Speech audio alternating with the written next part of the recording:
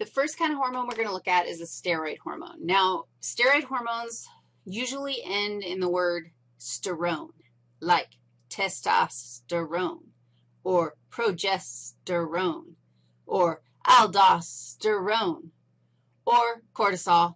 But you'll remember cortisol is also a steroid hormone just because, check this thing out. The, like, they all kind of look very similar, and that's because they're all made from cholesterol.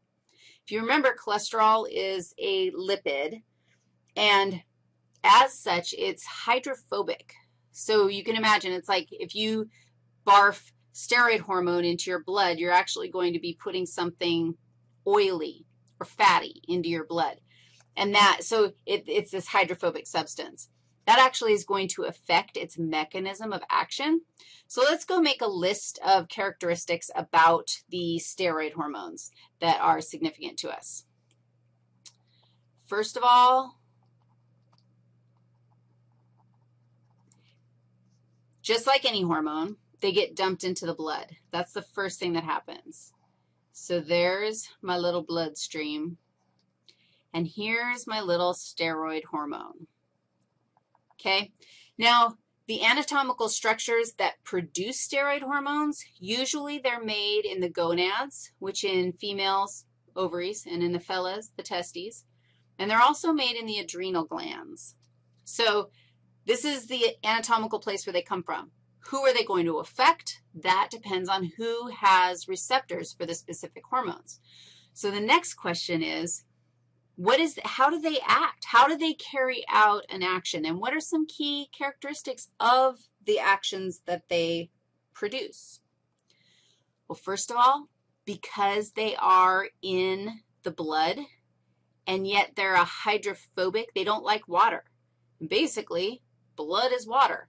So they're sitting inside this bloody water going, this is not cool, and they'll all clump together like oil and water unless they are being carried by, they have their own little special carrier boats. I'll even make a little flag there so that you remember that eh, this is a little boat. It's probably made out of a protein, which is hydrophilic, and so then it can float through the water, but it needs, or it can float through the blood, but it needs that carrier in order to be able to do its job. Now, we will have some kind of target cell. And here's the interesting thing. I'm going to tell you, of course, you should assume that how is the steroid hormone going to have an effect? It has to come in contact with the receptor. That's the first thing. So if you have an organ that does not have testosterone receptors, then that organ, it doesn't matter how much testosterone in your system is in your system, that organ will not be affected because it doesn't have the receptors for it anyway. But steroid hormones are unique. Most of the time, the receptor is not embedded in the cell membrane like you would expect. What am I drawing right here? Most of the time, the receptor is floating in the nucleus. And this is a hint to its action, like what it's going to actually do.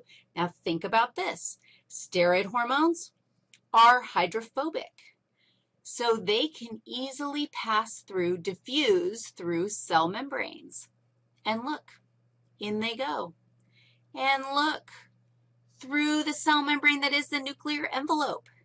And look, they find these floating cytoplasmic or nuclear receptors. So this is a receptor that's just chilling.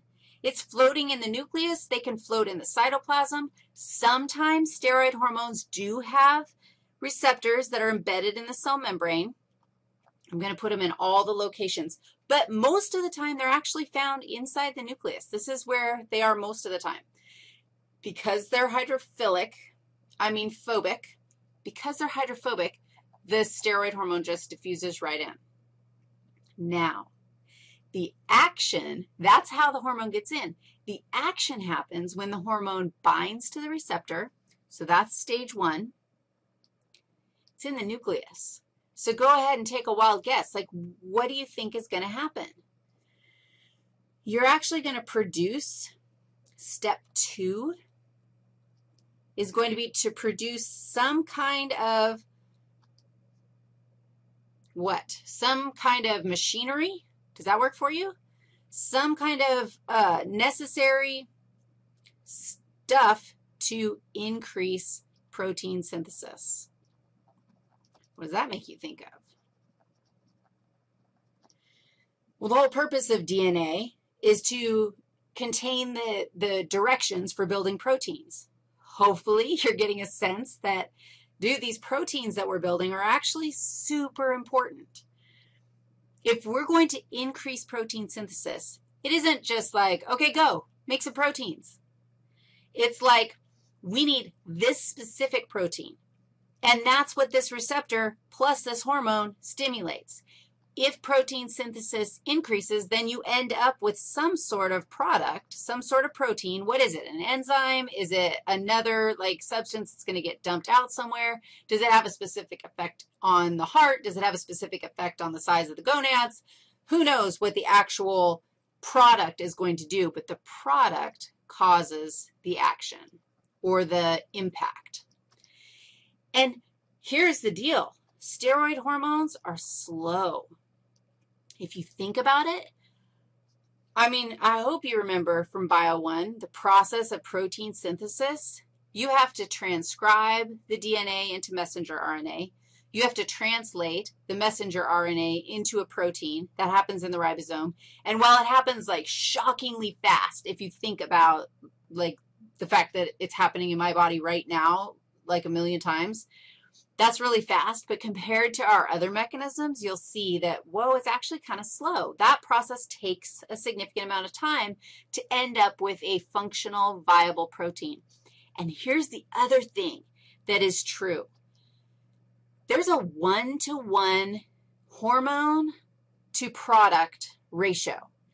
So essentially, I don't know how to say this, one-to-one hormone to product ratio. And that just means if you want one protein produced to stimulate an action, you have to send in one hormone, and then it'll happen. If you want more protein, then you just have to send in more hormones. So you can't, the only way to amplify the effect is to increase the amount of hormone that you've produced. So it's slow and you can't amplify it. You can't, you can't, amplifying it is like, dude, let's take one hormone and like send the message to everybody in the whole world. Sorry, it, if you want the message to get out there, you have to, each hormone has to deliver the message personally. And that just takes a while. That's slow. That's why if you start taking steroids, you're not going to see a result tomorrow. You're going to see a result in a couple weeks because that's how long it takes for those steroid hormones to have an effect.